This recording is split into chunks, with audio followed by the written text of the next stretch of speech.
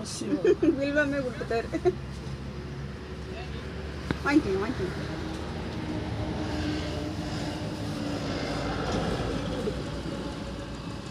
ತಿನ್ನಿರಂಗೆ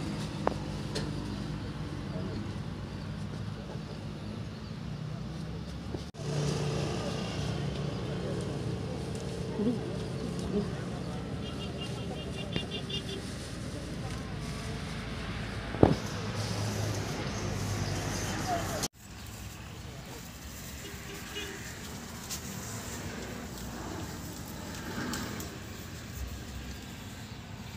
வாங்கி செல்வனெடுமாடம் சென்று சேனோங்கி செல்வமதி தோய செல்வம் உரைகின்ற.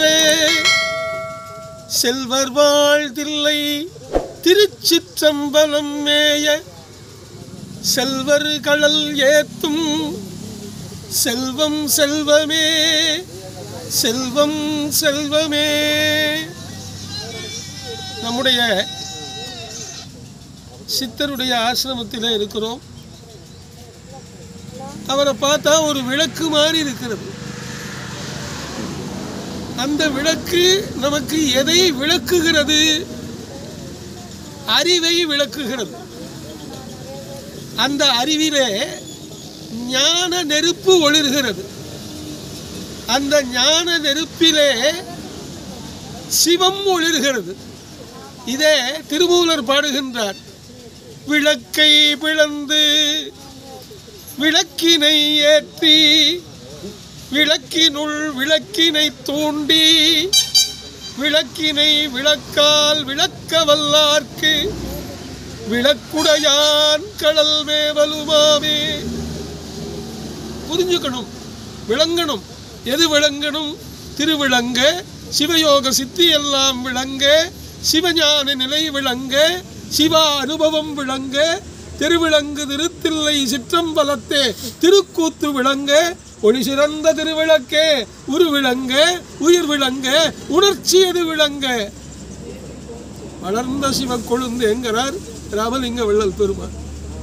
எல்லாரும் ஜோதியை கடவுளுங்கிறார். வேதமும் அதைத்தான் சொல்கிறார். ஜோதி ரூபமானவன் கடவுள். அவனுக்கு அவயவம் உண்டு. ஞானிகளுக்கு அவயவம் இருப்பது போல இறைவனுக்கும் அவயவம் உண்டு. ஆனால் எல்லாம் ஜோதிமயமானது. ஆதித்யவர்ணம் தமசசுபாரே சர்வாணி ரூபாணி விசித்திய தீரா நாமானி கிருத்வா எதிதம் வதாஸ்தே தாத்தா புரஸ்தாத்யமுதா ஜகாரா சக்கர பிரவித்வான் பிரதிசஸ்ரா தமேவம் வித்வான் அமிர்தமிக பவதி. இது வேதம் சொல்ற அதனால் உபனிஷத்துக்கெல்லாம் சொல்கிற மாதிரி அதிலோகம் அதி ஜௌதிஷம் அதி வித்யம் பிரஜமத்யாத்மம் அப்படின்னு உபனிஷத் சொல்கிறது நம பங்கஜநாபாய நம பங்கஜமாலினே நம பங்கஜநேத்ராய நமஸ்தே பங்கஜாங்கிரயே அப்படின்னு புராணம் சொல்கிறது எல்லாமும் சொல்வது எது? ஒரே ஒரு இறைவனை. அந்த இறைவனை உணர்ந்த ஞானியர்களை நாம் உணர்ந்தால் போரும் கடவுளை உணர்ந்தது போது முதலில் தன்னை அறி ஞானியர் கிடைப்பர். ஞானியரை அறி கடவுளை கிடைப்பார். கடவுளே கிடைப்பார். கண்ட கடவுளை கண்ட மகிழ்ச்சியோடு கர்த்தரின் ஆசீர்வாதங்கள். ரொம்ப நன்றிங்க கோபுரம் பணக்காரர்கள் கார் பங்களா ஏவலர்கள் காவலர்கள் யூடியூப் சேனல்கள் எதுவும் வேண்டாம். தண்ணி கொடுத்தாலும் கீழே சிந்துற மாதிரி இந்த நிலை வேணும். பதினாலு வருஷம் ஆச்சு துறவு மேற்கொண்டு. நம்ம ஊருக்கு சார் சேலம். சரி உட்கார்றதுக்கு இடம் இல்லாமல் நாயா பேயா அலையுது ஜனக்கூட்டத்தும் வேண்டாம். ஜனக்கூட்டம் வேண்டாம். புகழ் வேண்டாம். பணம் வேண்டாம்.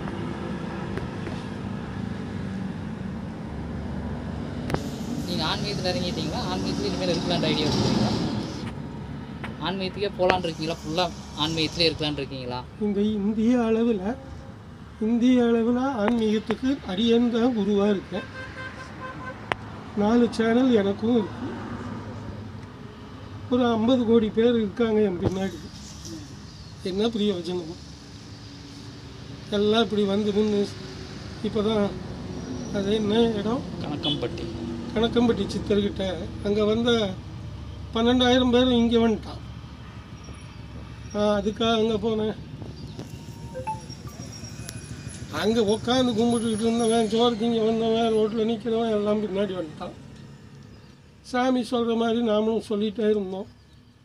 பெரிய சாமின்னாங்க எனக்கு அது வேண்டாங்கிறேன் இப்போது நூற்றி முப்பத்தி மூணு தடவை ஸ்ரீமத் பாகவதம் சொன்னேன் ரெண்டாயிரம் ஆண்டுல அடியேன் ஒருத்தன் தான் இருக்கேன் உயிரோட. முந்நூறு முறை ராமாயணம் சொல்லியிருக்கேன். நூற்றி எழுபது முறை மகாபாரதம் சொல்லியிருக்கேன். அறுபது முறை கந்தபுராணம் சொல்லியிருக்கேன். அறுபது முறை தேவி பாகவதம் சொல்லியிருக்கேன். ஆறு மொழிகள் பேச தெரியும் இலக்கண ரீதியாக குருகுல பிரின்ஸ்பாலாக இருந்தாச்சு ப்ரெஸ் ரிப்போர்ட்டராக இருந்தாச்சு. இந்த கையால் ஒரு இரநூறு கோவில் கும்பாபிஷேகம் பண்ணியாச்சு. எழுபது லட்சம் கிலோமீட்டர் யாத்திரை பண்ணியாச்சு. முப்பத்தஞ்சாயிரம் மணி நேரம் மைக்கில் பேசியாச்சு. இதெல்லாம் எனக்கு வேண்டான்னு கேட்கறதுக்காக வந்தேன். சாமியிட்ட கேளுங்க. சாமி என்ன பார்ப்போம் அதே தான் எனக்கு ஒரு தகர கொட்டாய் வேணும். சொந்தமாக வேண்டாம்.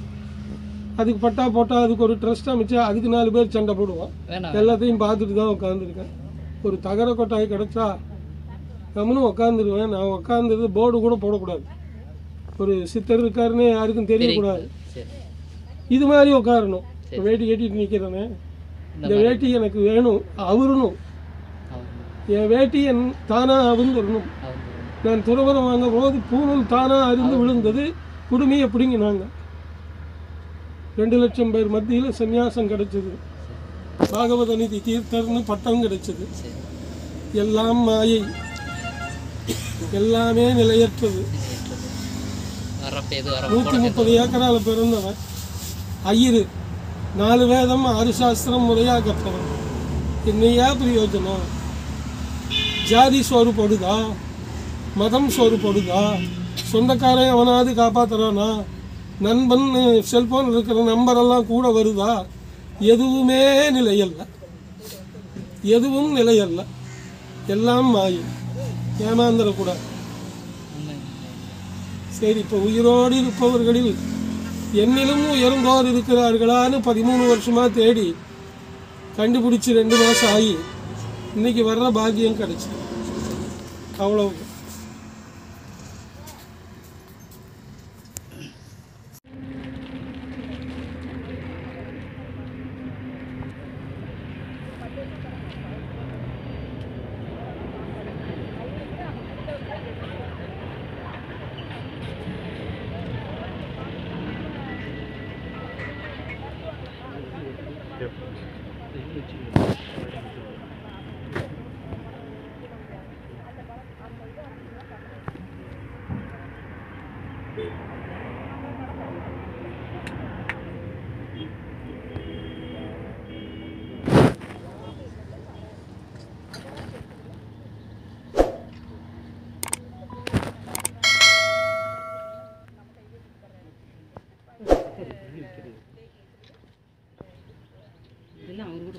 இல்லை அவர்